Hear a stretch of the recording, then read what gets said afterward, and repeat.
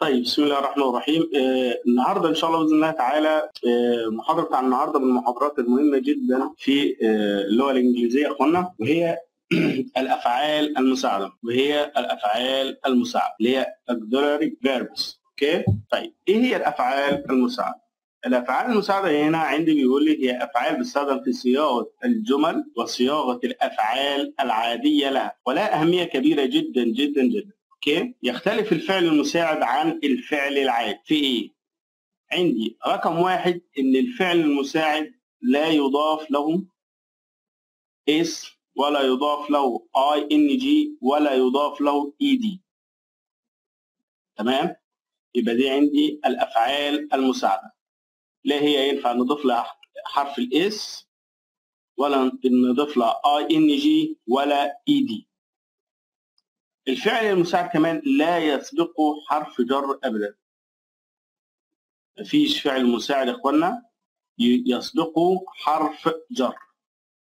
إلا إذا كان الفعل المساعد ده في الجملة مستخدم كفعل عادي. وهنا أفهم إن في بعض الأفعال ينفع إن هي نفس الفعل يستخدم كفعل مساعد وهو هو الفعل ينفع إن هو يستخدم كفعل عادي.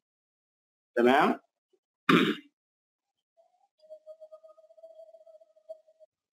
لو استخدم كفعل عادي في الوقت في الوقت ده ينفع إن أنا أضيف له يسبق حرف جر أو s أو ing أو ed طيب.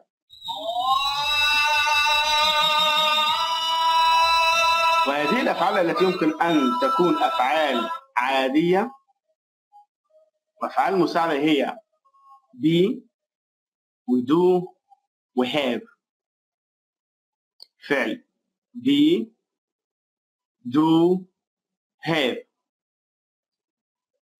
وفي هذه الحالة يمكن أن يسبقه حرف جر وإضافة إس أو إي دي أو آي إن دي. يعني في حالة لما أستخدم ثلاث أفعال المساعدة دول اللي هم be أو do أو have كفعل عادي أقدر ان أنا في الوقت ده أضيف لهم ال ing أو ال ed أو ال s أو يسبقه حرف جر.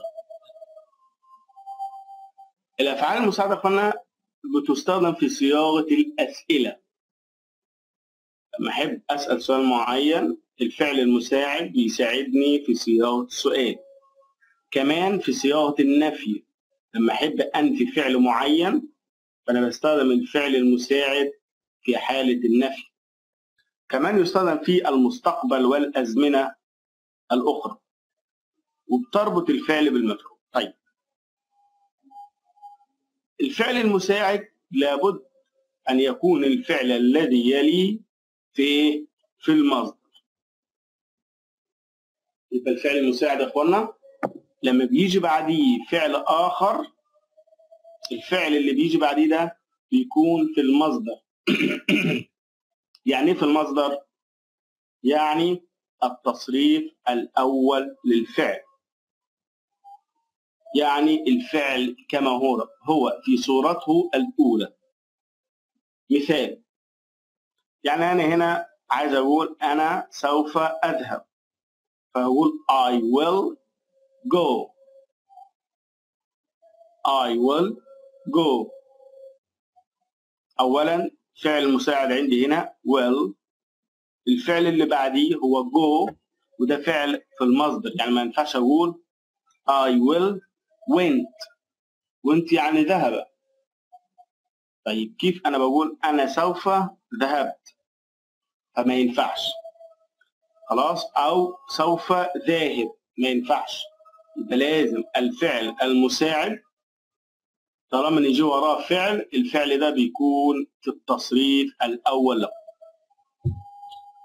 ما ينفعش زي ما إحنا قلنا الفعل المساعد نضيف له كفعل مساعد لا نضيف له. ing ولا ed ولا s فما ينفعش أقول I wills أدي ال s أنا شاطب لكم عليها.